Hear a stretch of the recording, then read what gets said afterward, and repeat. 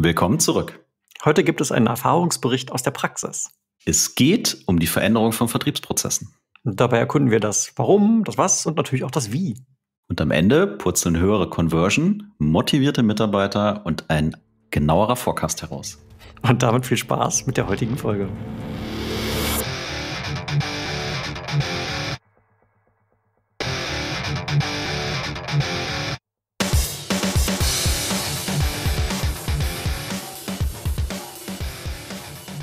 Sales Excellence, dein Podcast für Software B2B Vertrieb und Pre-Sales. Ich bin Tim, Sales Engineer bei Seismic. Und ich bin Jan, Pre-Sales Leader bei der SAP und heiße dich ganz herzlich willkommen zu unserer neuen Folge. Bevor es mit der heutigen Folge losgeht, möchte ich dich auf eine offene Pre-Sales-Stelle bei HubSpot aufmerksam machen. HubSpot ist ein führendes Unternehmen für SaaS CRM und landete dieses Jahr bei Glassdoor auf Platz 2 der besten Arbeitgeber. HubSpot bietet allen Mitarbeitern geniale Benefits. Extra vergütete Elternzeit, flexibles Arbeitsmodell im Büro, zu Hause oder Hybrid und bis zu 90 Tage im Ausland sogar. Und dazu gibt es unbegrenzten Urlaub, ein jährliches persönliches Budget für deine Entwicklung und so weiter und so fort. Du merkst, das ist ein moderner Arbeitgeber, der Vielfalt wirklich lebt. Dazu ein Beispiel, knapp 50 Prozent des Pre-Sales-Teams besteht aus Frauen. Ich persönlich kenne die Hiring Manager und einige Teammitglieder und kann nur sagen, das ist ein super Arbeitsfeld, in dem du wachsen und lernen kannst. Doch das böse Imposter-Syndrom lauert überall. HubSpot fordert ausdrücklich dich auf, dich zu bewerben, auch wenn du nicht sicher bist, dass du alle Kriterien erfüllst. Den Link zur offenen Stelle findest du in den Show Notes oder du gehst jetzt auf www.sales-excellence-podcast.de slash HubSpot. Klick da also am besten direkt drauf und nun viel Spaß bei der Folge. Ja, danke, lieber Tim. Und ich freue mich, dass wir heute bei uns den Frank Reinhardt begrüßen dürfen, der seit fast 17 Jahren bei der Firma HR Works oder HR Works tätig ist und seit viereinhalb Jahren auch in der Rolle als Vertriebsleiter. Lieber Frank, ganz herzlich willkommen.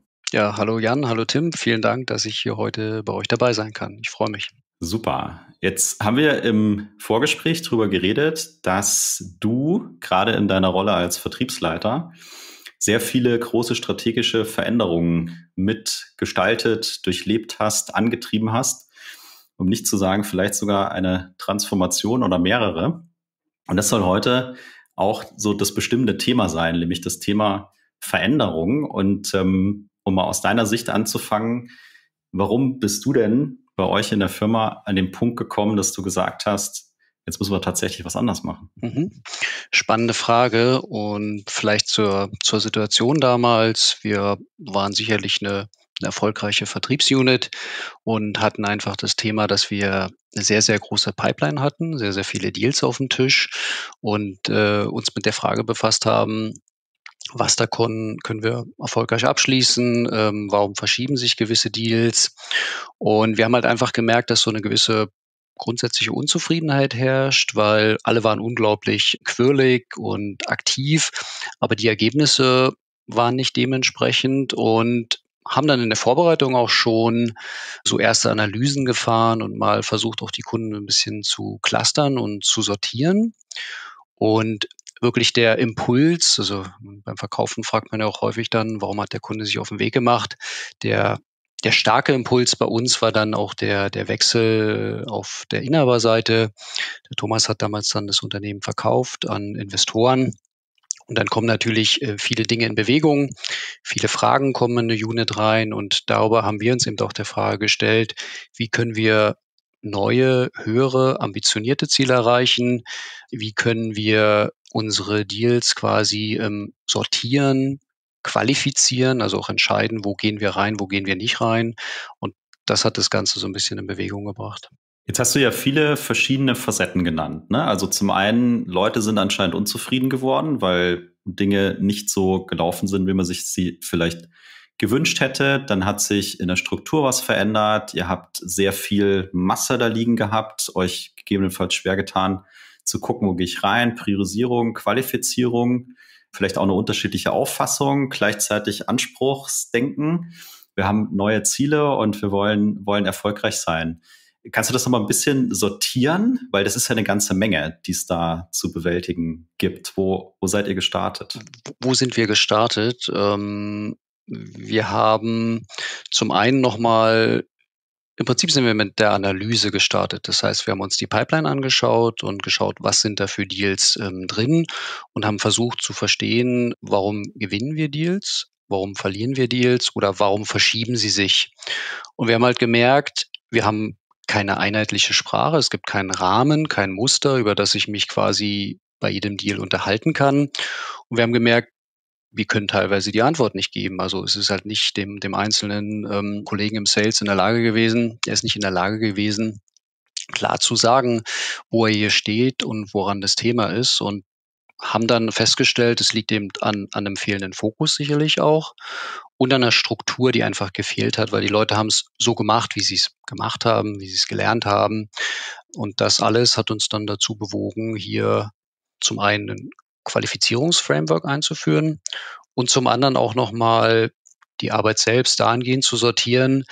Vorher müsst ihr euch vorstellen, haben alle alles gemacht, von der Leadannahme über die Entwicklung, in Teilen Qualifizierung bis hin zum Abschluss. Und äh, wir haben halt festgestellt, dass wir besser laufen, wenn wir auch das in zwei Teile schneiden. Und das sind eigentlich die beiden großen Veränderungen, die wir spannenderweise parallel angeschoben haben, weil wir hatten es halt auch eilig, wollten vorwärts kommen. Und wenn ich mich so zurückerinnere, das ist jetzt ein gutes Jahr her, es war eine spannende Zeit, es war genau Anfang 2021. Ähm, wir haben ausreichend Zeit in die Vorbereitung investiert, die Kollegen abgeholt, können wir ja vielleicht auch gleich noch drüber sprechen. Und das hat bei uns, muss ich sagen, rückwirkend blickend sehr, sehr gut funktioniert. Ja. Mal kurze Zwischenfrage rein aus Neugierde. Habt ihr bei HR Works auch Pre-Sales oder Sales Engineering? Das haben wir heute noch nicht. Ähm, Im Prinzip das ist noch ein Entwicklungspfad, den wir vielleicht noch vor uns haben oder sehen. Ich habe inzwischen einige Kollegen im Kopf, wo ich mir gut vorstellen kann, dass die diese Rolle ähm, in Zukunft mal mit mehr Leben füllen. Hab dem Kollegen auch schon mal euren Podcast empfohlen und den Link. Also insofern, dass äh. Dinge miteinander verweben. Das kann ich mir für eine gewisse Kundengröße bei uns gut vorstellen. Im Moment sind wir so strukturiert, dass wir eben seit Anfang letzten Jahres in Lead und Business Development uns sortieren. Das ist halt einfach eine, eine Größenunterscheidung, weil unterschiedlich große Kunden einfach eine andere Anforderung haben. Und auf der anderen Seite steht, so wie heute ja üblich, dann der Sales oder bei uns ist eben der Territory Sales, der sich, ähm, ich sag mal, in der, um den Abschluss kümmert im weitesten Sinne. Genau.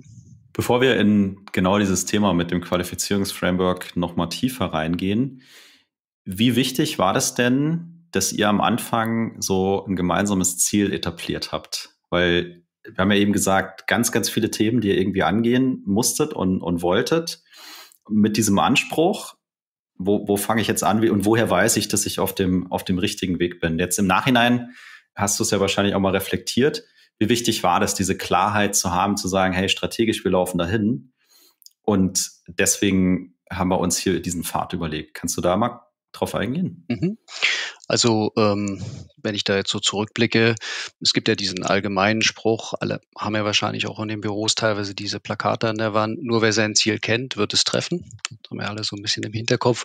Und aus dem Blickwinkel hat es natürlich, oder war es halt essentiell wichtig, quasi so ein, so ein, so ein, so ein Ziel oder eine Marke zu setzen. Können wir auch sagen, das haben wir eben vorher nicht gemacht. Das war halt durch das inhabergeführte Unternehmen einfach nicht notwendig. Da hat man sich damit nicht befasst. Und allein das hat dann die ganzen Überlegungen in Bewegung gebracht. Und ähm, das Zweite ist ja dann, wie kommen wir jetzt dahin? Und da hatten wir eben auch Support von der Seite, einfach in dem Fall Unterstützung von einem sehr erfahrenen Kollegen aus dem Sales. Bedeutet, wir mussten nicht alle Dinge komplett neu erfinden, sondern konnten halt einfach auf seine Expertise zurückgreifen. Und das würde ich auch immer wieder empfehlen, einmal quer rechts und links schauen oder auch dazu investieren ein Stück weit. Das hat natürlich auch Geld gekostet, hat aber ähm, die Startup-Phase, dieses, diese Veränderungen sehr, sehr beschleunigt und auch quasi die ganzen Hürden schon ein Stück weit weggebügelt. Also kann ich eben nur empfehlen, nicht alles ähm, selbst zu erfinden, weil auch wenn man glaubt, man steht auf Line of weiter Flur und noch nie hat sich jemand damit befasst, in der Regel sind die Themen alle schon gelöst worden von anderen und es ist gut, darauf zurückzugreifen. Ne? Ja, ich finde, da steckt so viel drin, deswegen wollte ich da auch nochmal drauf eingehen. Also dieses, der ganz einfache Sachverhalt, ich stehe an Punkt A und weiß, ich möchte zu Punkt B. Ich habe Punkt B schon mal irgendwie beschrieben. Ne? Ändert sich vielleicht auf dem Weg dahin. Und dann hattest du ja auch gesagt, wir sind wirklich mal in eine Analyse gegangen. Wir haben mal reflektiert, was wir da getrieben haben und haben uns, so habe ich dich jetzt verstanden, kritisch hinterfragt und holen uns dann noch jemanden dazu, weil wir glauben, dass uns das, also das, ich finde es ganz, ganz stark, so wie ihr das äh, gemacht habt. Deswegen äh, ist mir das so wichtig, das zu betonen, weil ich glaube, das ist ein sehr, sehr guter Weg, der eben durch die genannten Dinge auch sicherstellt, dass du am Ziel irgendwann mal ankommst. Ja. Jetzt hast du gesagt Qualifizierungsframework und jetzt spiele ich mal hier den, ähm, den Pessimisten und sage, oh oh, der neue Vertriebsleiter hat sich was ganz Tolles ausgedacht, um mich ab sofort zu überwachen. Das finde ich ja fragwürdig. Aber Spaß beiseite. Erzähl mal, was habt ihr euch überlegt und ähm, wie seid ihr gestartet? Wir haben an der Stelle im Prinzip ein bisschen rechts und links geschaut. Was gibt es halt für Möglichkeiten?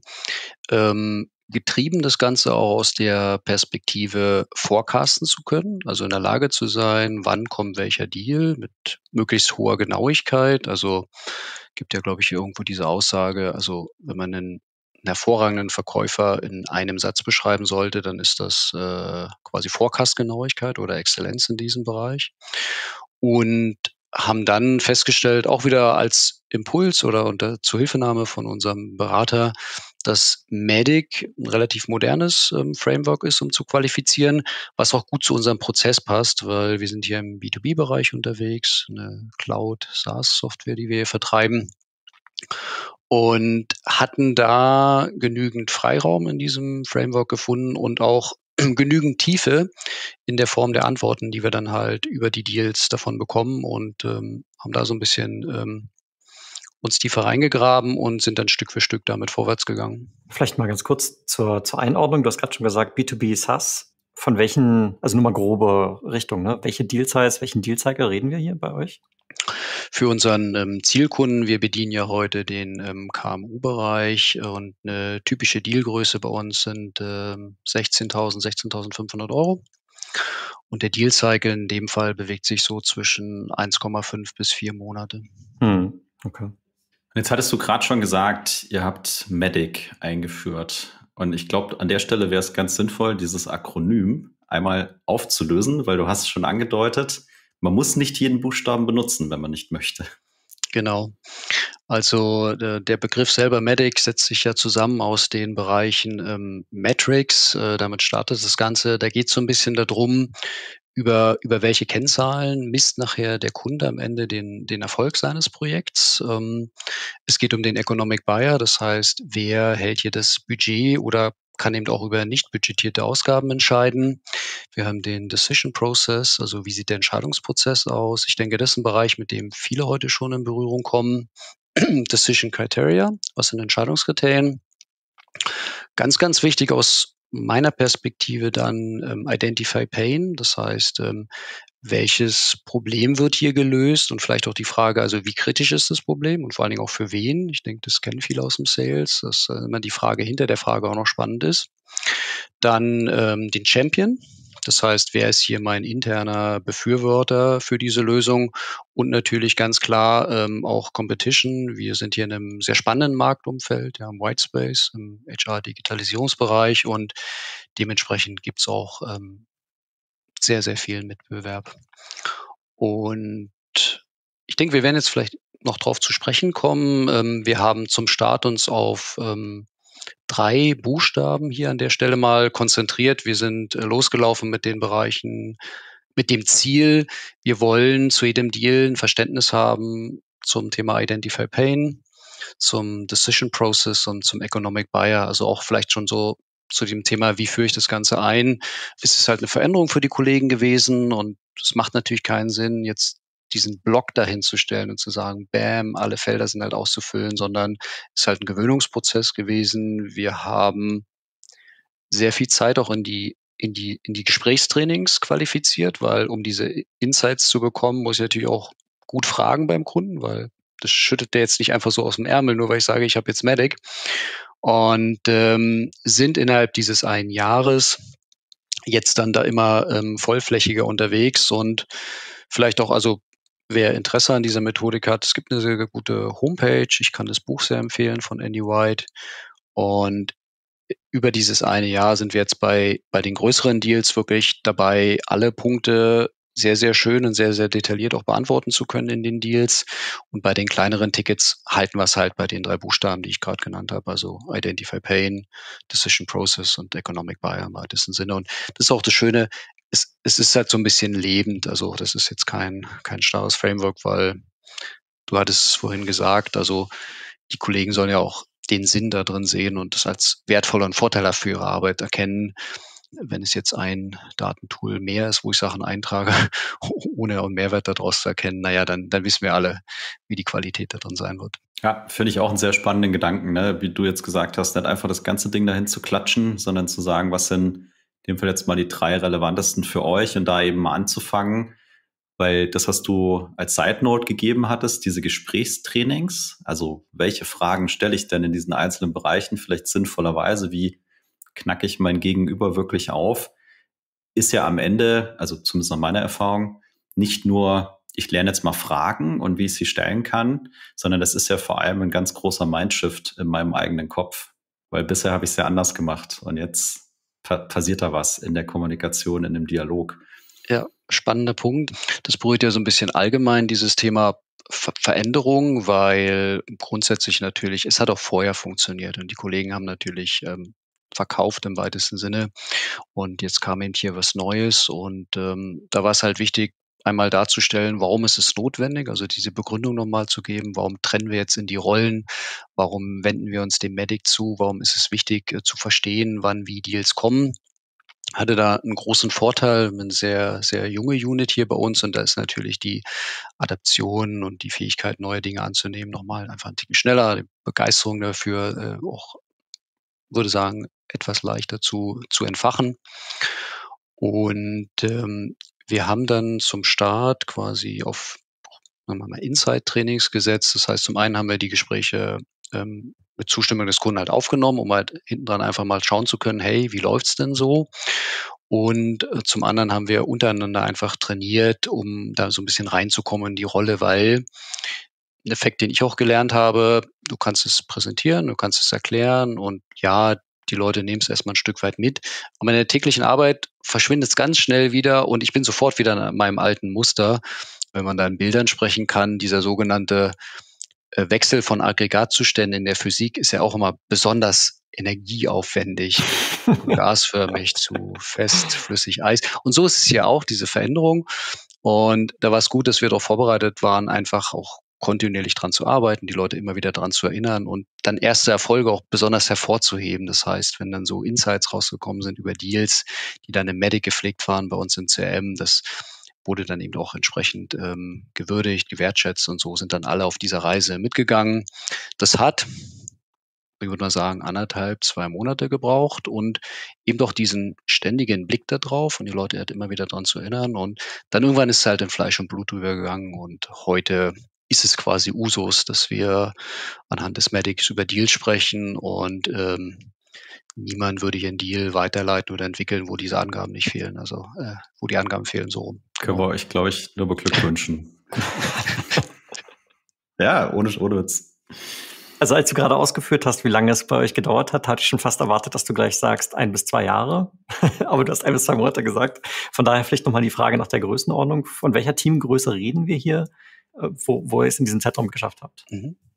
Also wir sind gestartet mit einer Teamgröße von ähm, sechs Kollegen Anfang letzten Jahres, haben dann auf zehn aufgebaut. Das heißt, wir hatten auch ständig noch neue Kollegen dabei, haben nebenbei da auch nochmal viel gelernt, wie man eben trainiert und Wissen weiter ähm, gibt und auch teilt untereinander. Auch vielleicht wieder ein interessanter Seitenaspekt. Wir laufen ja sehr, sehr erfolgreich mit Teamzielen, was eben dieses, ähm, ich behalte das Wissen eher für mich und bin halt auf meine Ziele sortiert, äh, sozusagen unterbindet und dadurch einfach auch hilft, dass die Kollegen gern und bereitwillig sich gegenseitig helfen und teilen. Und ja, vielleicht auch im Sinne von Erwartungsmanagement, also nach diesen anderthalb, zwei Monaten waren wir mal in dem Grundmodus von Medic und den Rest des Jahres, du bist da niemals fertig. Also wir sind heute noch in, in, Themen drin, wie du über die richtigen Fragen noch mehr Insights über den Kunden gewinnst und vielleicht auch da noch eine persönliche Note von mir. Also ich finde es auch ein Mindset ähm, an der Stelle. Es geht natürlich nicht darum, den Kunden irgendwie auszufragen oder sich selbst einen Vorteil dadurch zu erschaffen, sondern wir helfen ihm ja in seinem eigenen Prozess, indem wir diese Fragen stellen, weil auch die ja häufig nicht so sauber sortiert sind. Ähm, was ist jetzt am langen Ende mein Ziel? Wer wird mir dafür ein Budget geben, wenn ich vorne dran mit den Champions spreche? Und ähm, das empfinden die übrigens als sehr, sehr wertvoll, wenn sie diese erste Hürde übersprungen haben, dass da jetzt nicht der klassische Verkäufer am Apparat ist, der sofort auf meinen Pain springt und sagt, hey, ich habe die Lösung, sondern der wirklich mitgeht und der Nein sagen kann und der am langen Ende einen Gewinn-Gewinn-Zustand haben will oder sonst halt nicht weitermacht. Ja. Also ich finde einen ganz einen anderen, einen anderen Aspekt ganz, ganz ja toll, muss ich einfach sagen, weil du hast ja, also du sprichst, muss man vielleicht nochmal erinnern, du sprichst ja immer aus der Brille des Vertriebsleiters, ne? Und ähm, du hast ja sinngemäß gesagt, okay, wir haben das erarbeitet und jetzt ist aber auch deine Aufgabe gewesen, das intern, ich nenne es jetzt mal bewusst in Anführungszeichen, zu verkaufen oder anders gesagt, die Leute da abzuholen, wo sie stehen und sie auf dieser Reise mitzunehmen, damit du das zum Laufen bringst. Das finde ich den einen äh, sehr bemerkenswerten Punkt. Und diese andere Geschichte, also Tim und ich sagen, seit wir mal mit Michael Simon gesprochen haben, Wissen ist nicht können. Also demütig zu sein und zu sagen, hey, wir setzen uns da zusammen als Vertriebsteam und wir üben das, wir geben uns konstruktiv Feedback, werden dadurch besser. Finde ich ganz, ganz toll, weil ich glaube, da profitiert, also natürlich ihr intern und jeder wächst daran, aber da profitieren ja auch die Kunden, weil ihr werdet künftig bessere Fragen stellen und den Kunden besser bedienen können. Also finde ich zwei ganz, ganz tolle Aspekte, gerade aus einer Mindset-Sicht. Also ja, vielen Dank. Ähm, wir hatten es gerade an anderer Stelle intern auch so ein bisschen und ich habe mal dieses Sportbild da reingebracht. Also wenn wir jetzt Sportler werden und wir sind die ganze Zeit nur mit den Kunden am Arbeiten und direkt würde es ja bedeuten, ähm, wir sind nur im Wettbewerb. Aber wenn man sich mal einen Sportler erinnert, der ist halt auch viel im Training, wo halt niemand zuschaut, wo es nicht um Medaillen gibt und habe versucht, da so ein bisschen die Botschaft reinzubringen. Ähm, lasst uns halt Blöcke setzen, wo wir eben auch wieder intern trainieren und einfach ähm, Kollegen, die neuen Aufgaben sich zuwenden oder einfach in ihren Rollen weiter wachsen, nicht immer direkt am Kunden zu üben. Also klar, vorher, ich verschaffe mir Zugang zu den Inhalten, aber wir sollten auch intern trainieren, weil so wie du es gesagt hast gerade, wenn ich das nicht gut mache, dem Kunden dann nicht gut diene oder einfach nicht die nötige Expertise habe, dann verschwende ich halt am Ende seine Lebenszeit und ich kriege auch ab und zu Termine, wo mir was verkauft wird und es gibt ein paar, die finde ich gut und es gibt aber auch welche, wo ich sage, hey, das hätte man schon besser machen können, das ist halt ein bisschen schade jetzt. Ähm, und das sollte man halt immer im Hinterkopf behalten, äh, wohl wissen, dass auch wir viel zu tun haben und am liebsten nur operativ arbeiten, damit hinten raus die Zahlen passen. Aber ich denke, da mal sich rauszunehmen, ist am Ende nachhaltiger und hilft halt mehr. Ja, ja, das ist einfach, das ist einfach die klassische Falle. Ne? Also gerade eben waren Jan und ich auch noch im anderen Call, da hat jemand ganz prominenterweise dieses Zitat äh, gebracht, wenn ich sechs Stunden Zeit habe, muss ich halt vier Stunden Zeit damit verbringen, meine, meine Axt zu schärfen und zwei Stunden, um den Baum zu fällen. Ne? Und ähm, was mir einfach immer wieder begegnet, konsequent seit, äh, seit zehn Jahren im, im Vertrieb mit meinen, mit meinen AEs und mit denen ich arbeite, dass diese, dieses Bewusstsein dafür, dass dieses Training so wertvoll ist und dass man das regelmäßig äh, immer wieder tun muss, wie so ein Spitzensportler, ne? Der einfach, der trainiert ja auch den ganzen Tag, ne? Der geht alle vier Jahre, geht er zu Olympia und macht da High Performance, aber die drei Jahre dazwischen, die ist halt am Trainieren. Und das ist einfach extrem hilfreich. Und du hast ja auch gerade ein schönes Beispiel genannt, womit ich mich auch sehr gut identifizieren kann. Du hast ja gesagt, wir gucken uns unsere Recordings mal an. Ne? Äh, da gibt's ja tolle Tools. Wahrscheinlich müsste ich schon längst mal ein bisschen Provision von Gong verlangen, weil ich die immer wieder äh, positiv hervorhebe. Die benutzen wir nämlich aktuell hier bei Seismic. Und da gibt's ja wirklich, also also das Tolle ist, du kannst ja diese Recordings auf 1,5 oder zweifache Geschwindigkeit angucken. Ne? Das heißt, nur weil der Call eine Stunde geht, musst du nicht mal eine Stunde investieren, sondern es reicht schon eine halbe. Und zweitens kannst du an ganz dedizierten Stellen auch schon sagen, hier bitte vielleicht einen Satz anders formulieren oder hier hast du richtig das toll die Frage formuliert und hier könntest du den Pitch noch schärfer gestalten. Keine Ahnung. Also solche Sachen funktionieren ja. Also ich ergänze jetzt gerade nur, das ist jetzt keine Frage, also an den Tools soll es nicht scheitern. Ne? Die machen uns das Leben da schon extrem einfach, aber es passiert einfach zu selten leider. Ja, und ich denke, ähm, die, die Kunst ist eben dann in den schon vollen Kalendern langfristig diese Blöcke dafür einzuschlagen, einfach einen Rhythmus zu finden, dass die Kollegen halt diesen Raum dafür haben, um dann eben da trainieren zu können. Und also ob bin dir dankbar für den Hinweis, weil auf der Tool-Seite sind wir da auch mal ein bisschen am Suchen. Was passt jetzt gut? Der Datenschutz spielt halt auch eine Rolle. Also der Kunde sollte dem ja ähm, auch zugestimmt haben, dass du das ja alles aufnimmst.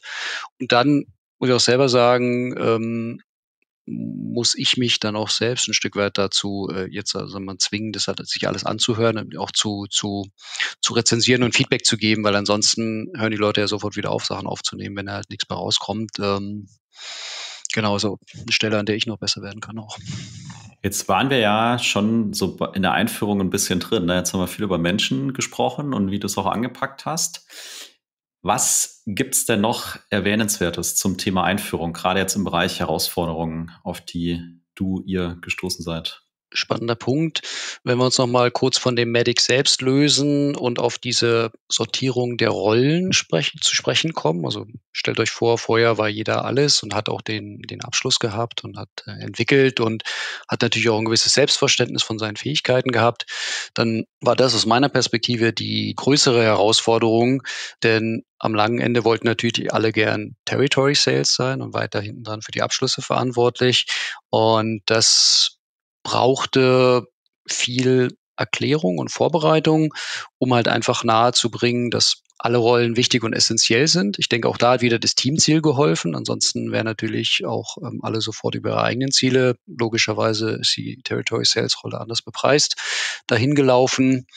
Und ähm, die Leute frühzeitig abholen, mehrfach erklären, die, die diverse Sessions. Also auch da ist ja wie beim Verkaufen. Es macht halt keinen Sinn, das auf einmal hinzustellen wie so ein Blog, sondern Stück für Stück die Leute auf eine Reise mitzunehmen. Auch wieder war sehr, sehr wertvoller Input von, von, von unserem Berater hier an der Stelle, sich halt auch klar zu machen, was das für die Kollegen im Team bedeutet. Also, dass halt eine Veränderung auf die zuschwappt, äh, um die die jetzt vielleicht nicht äh, gebeten haben und das alles so ein bisschen mit einzupreisen, weil das ist für mich klar und logisch ist, okay, ist gesetzt, aber trotzdem muss natürlich alle abholen, weil die waren in den Meetings nicht dabei, die stecken vielleicht in den Zahlen nicht so tief drin. Und ähm, das war sicherlich wichtig, darauf hingewiesen zu werden, statt einfach nur mit einer Slide das allen zu erklären und zu sagen, go. Das hat uns da viel, wird man mal rückwärts betrachtet sagen, Ärger erspart. Das hat gut funktioniert. Und dann natürlich in Einzelgesprächen die Leute noch ein Stück weit abzuholen und auch eine Sache, die ich heute noch besser anders machen würde als damals, auch die jeweiligen Bereiche ähm, Lead Development kümmert sich jetzt mal um die kleineren Kunden. Und mir persönlich liegen die größeren jetzt auch mehr über die Erfahrung, macht halt mehr Spaß, größere Tickets. Aber auch zu erklären, dass auch das essentiell ist, wir darauf nicht verzichten können und dass das, also dass auch der Kollege, der da arbeitet, einen, einen unverzichtbaren Beitrag für die Company leistet und nicht so, der Frank guckt nur auf die großen Tickets und alles andere so nebenbei. Das hätte man da an der Stelle noch ein Ticken besser machen können. Und zum, zum Medic selbst, ähm, das haben wir mit regelmäßigen Meetings dann flankiert im Ausrollen. Das bedeutet, einmal die Woche gab's, äh, ich glaube, anderthalb Stunden haben wir jeweils angesetzt, einfach, wo wir darüber gesprochen haben, wie funktioniert's. Ähm, die Leute konnten einfach ihr Feedback mitbringen und waren im Prinzip drei Phasen. Am Anfang ging es viel um so technische Fragen. Wo trage ich es ein? Was trage ich ein? Was passiert da so? Das war dann irgendwann abgefrühstückt nach ein, zwei Wochen. Dann ging es eher um die inhaltlichen Themen und dann haben die Kollegen sich auch schon angefangen, so ein bisschen selbst zu challengen nach dem Motto, also ist es jetzt ein guter Pain oder ist, ist, ist dahinter nicht eigentlich noch eine Frage zu stellen? Und irgendwann haben wir uns angeguckt nach fünf, sechs Wochen, wie gesagt, so diese anderthalb Monate und hatten irgendwie keine Themen mehr in dem Meeting. Dann haben wir gesagt, alles klar, ja, dann gehen wir auf den 14-tägigen Rhythmus und danach äh, let's go, haben wir es halt nicht mehr gebraucht. Und ähm, inzwischen haben wir es auf die Units bezogen noch und ähm, die haben jetzt ihre eigenen Rhythmen, da noch drüber zu sprechen und äh, kontinuierlich besser zu werden bei den, bei den Fragen und bei den Insights, die sie dann halt rausholen. Und, du hast Sorry. Ja, ein Impuls, den ich gerade habe, was ich vielleicht nochmal machen sollte, äh, mal dem nächsten Medic von vor einem Jahr und Medic von heute mitzubringen aus irgendeinem Zufallskunden, um nochmal diese Reise zu visualisieren. Ich glaube, das macht den Leuten auch Spaß, weil ähm, du sollst ja nur zurückschauen, um zu gucken, wie weit du gekommen bist. Und ich glaube, das wäre nochmal ein sehr motivierendes Ding, aber das nehme ich mal für mich hier mit. ja, cool. Ja, ist doch super. Jetzt hattest du gerade eine Sache, die finde ich noch spannend, auch wenn es um Herausforderungen geht, gesagt am Anfang so äh, technische Fragen. Wo trage ich es ein? Wie trage ich es ein? Das heißt, ihr habt diesen Prozess Medic oder diese Methodologie, die ihr euch da gegeben habt, auch in eurem CRM direkt mit verankert. Exakt. Also das macht der Vertrieblern immer extrem viel Spaß, Daten im CRM zu pflegen. Genau. Des, deswegen wollte ich da nochmal nachgehakt haben. Ja, also zwei Punkte an der Stelle sind halt spannend. Zum einen, äh, damit es nicht zu einfach sind, haben wir sogar zwei CRMs, weil als Softwareentwickler haben wir natürlich gesagt, hey, das können wir doch selber und warum müssen wir jetzt äh, den Salesforce-Lern so viel Kohle in den Rachen werfen? Und sind, sind, sind auch ganz gut vorwärts gekommen, aber am langen Ende natürlich das, also sie predigten Wasser und tranken Wein. Das, was wir ja den Kunden auch erklären, es macht halt keinen Sinn, eine eigene HR-Suite aus irgendwelchen Drives oder whatever zu bauen. Und das Gleiche hätten wir halt auch beim, beim CM-Tool nicht machen dürfen. Sind dann jetzt hinten dran ähm, zu HubSpot gegangen. Die Lead- und Business Developer arbeiten da sehr erfolgreich drauf und es macht auch Spaß zu sehen eben, dass die ganzen Dinge, die du äh, sonst selber bauen müsstest, einfach in der Regel schon drin sind haben dann noch unser eigenes Tool für die Abschlüsse, weil es einen gewissen Vorteil einfach hat, äh, was die Auftragserstellung angeht. Und ja, wir haben die Felder dann an beiden Stellen eingebaut, haben sie in die Synchronisierung gebracht. Und ja, die Kollegen haben heute hier und da noch könnten da nach meinem Gefühl mehr eintragen oder ab und zu, wenn wir über einen Deal sprechen, sage ich, hey, das Qualifizierungsgespräch hat doch stattgefunden. Es macht keinen Sinn, noch zu warten, die Insights da einzutragen, weil die werden nicht mehr besser, sondern du vergisst es nur.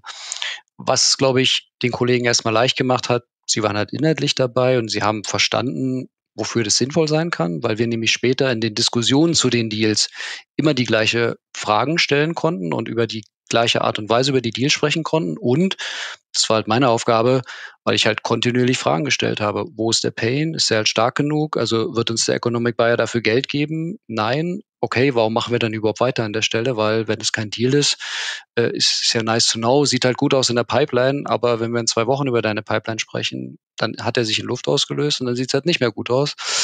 Und das hat es den Kollegen leicht gemacht, aber nichtsdestotrotz machen wir uns nichts vor da muss man schon dranbleiben und hinterher sein. Und irgendwann macht es bei vielen, nicht bei allen, auch Klick.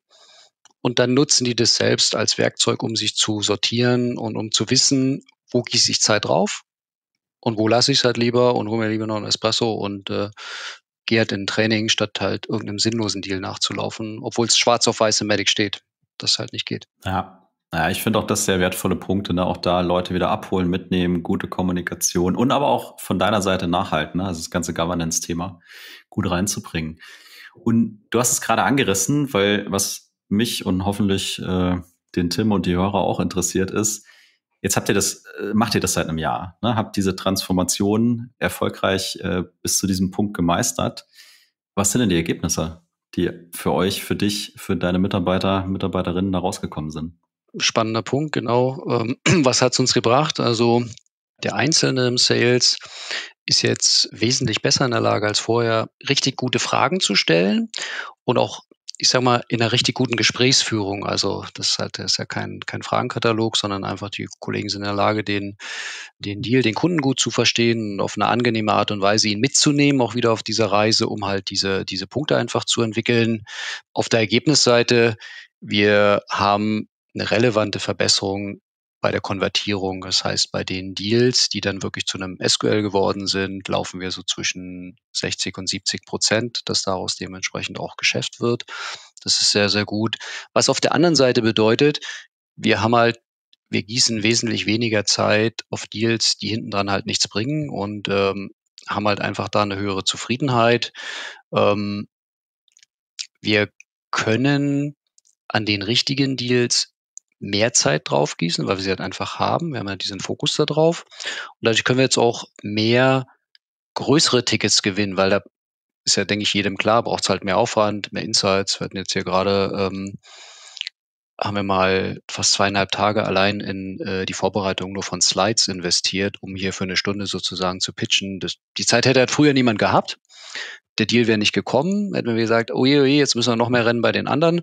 Und jetzt hat man mal die Zeit, es hat unglaublich viel Spaß gemacht, auch im Team. Und man hat auch mal gesehen, für so eine Ticketgröße ist es halt notwendig, macht es Sinn. Hat auch mir viel Spaß gemacht. Also ich durfte da mal wieder ein bisschen mitmachen. Ansonsten bin ich leider immer raus aus den operativen Themen. Und auf der Zahlenseite ähm, hilft es halt extrem im Bereich des Pipeline Management. Also wir können jetzt äh, monatsgenau und dann runtergebrochen Wochen und Tag genau forecasten. Ich kann quasi dem, dem Markus hier, dem Geschäftsführer, jede Woche sagen, wo wir stehen und wo wir hinlaufen werden und das auch mit einer relativ hohen Genauigkeit. Die Kollegen im Sales laufen mit dem Ziel, auf zehn Prozent äh, Genauigkeit plus minus zu forecasten. Alles andere ist dann schon, äh, ich sage jetzt mal, nicht mehr zulässig. Und ähm, hat uns zu unserem uns gibt es jetzt 21 Jahre, am erfolgreichsten Jahr in der, in der Firmengeschichte gebracht, was so das Neugeschäft angeht. Da waren alle super happy. Also es ist natürlich auch schön, wenn dann das irgendwann in so einen Erfolg gegossen wird. Die ganzen Anstrengungen, dieses Mitnehmen, weil man wird wirklich jeden Stein angefasst, umgedreht, versucht zu verbessern und ähm, ja, das, das war richtig gut und die Reise ist halt nicht zu Ende. Also wir werden hier neue Kollegen hoffentlich für uns noch gewinnen und wachsen können und die, die da sind, nochmal besser machen in der Fähigkeit, eben diese Deals zu verstehen und dadurch dem Kunden zu helfen. Genau. Auch dazu Glückwunsch. Ja, also vielen Dank. Ähm, freut uns, äh, freut, freut mich hier sehr und äh, ja, ist ein Teamding gewesen. Also das, ich war hier nur der, der Coach an der Seitenlinie. Die Spieler waren halt alle auf dem Platz und die haben am Ende jede Menge Tore geschossen. Und den Punkt wollte ich auch nochmal rausheben. Du hast zwar gerade gesagt, fast ein bisschen schade, dass ich nur so wenig operativ machen kann. Ja? Ich find's richtig geil, dass du anscheinend mehr Zeit mit Arbeit am Unternehmen als mit Arbeit im Unternehmen verbringst, weil ich fest davon überzeugt bin, dass das genau zu diesen Dingen führt, die du gerade erzählt hast. Ja, also Jan, stimme ich dir zu 100 Prozent zu. Und auch ist auch wieder so ein Learning, weil ähm, geht vielleicht vielen anderen so wie mir, dass sie aus dieser klassischen operativen Rolle sich dahingehend weiterentwickeln und dann irgendwann eben Verantwortung übernehmen für Kollegen, für die Arbeit eben am Unternehmen. Und auch das erfordert eben ein Umdenken. Also das ist immer schön, wenn man einen Mentor hat oder jemand, der einfach mal so ein bisschen darauf ähm, bringt.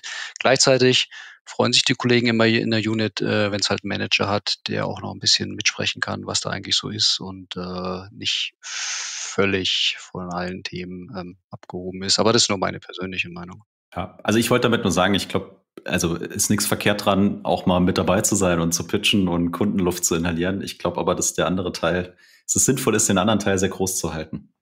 Ja, es ist ja auch einfach eine klassische Falle. Ja, viele Vertriebsleiter, denen, die macht es halt Spaß, operativ zu arbeiten, aber dann bleibt eben keine Zeit mehr für den ganzen anderen guten Dinge, die wir gerade hier besprochen haben. Von daher, ja. So, jetzt muss ich mal äh, fragen, äh, Tim.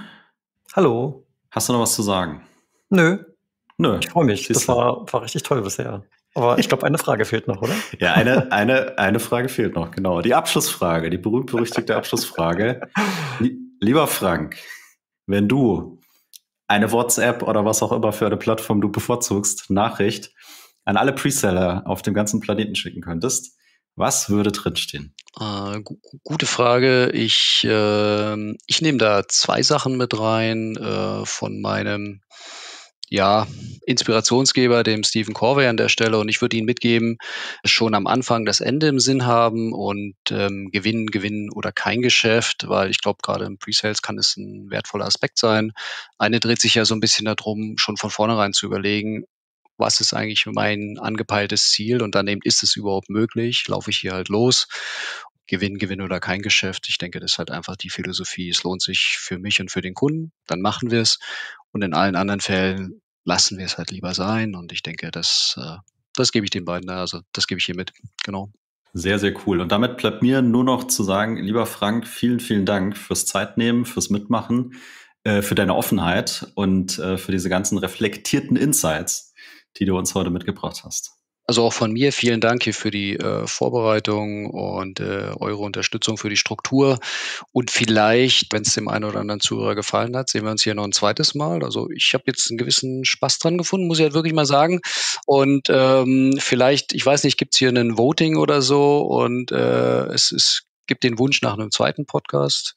Vielleicht kann ich noch was Spannendes erzählen. Würde ich mich drauf freuen und ansonsten echt vielen Dank, Jungs. War toll. Ich kann es mir gut vorstellen. Ja, ich nehme den Ball auch gerne an. Ich glaube, da waren viele so Seitenthemen dabei, wo wir noch weiter reingehen können. Sehr gut. So, das waren für dich, lieber Hörer, der Tim und der Jan im Sales Excellence Podcast. Das ist nach wie vor dein Podcast für Software B2B-Vertrieb und Pre-Sales. Und wenn du Lust hast, mit uns in Kontakt zu treten, dann findest du uns natürlich bei LinkedIn. Schön, dass du wieder dabei warst und bis zum nächsten Mal. Ciao, ciao. Ciao.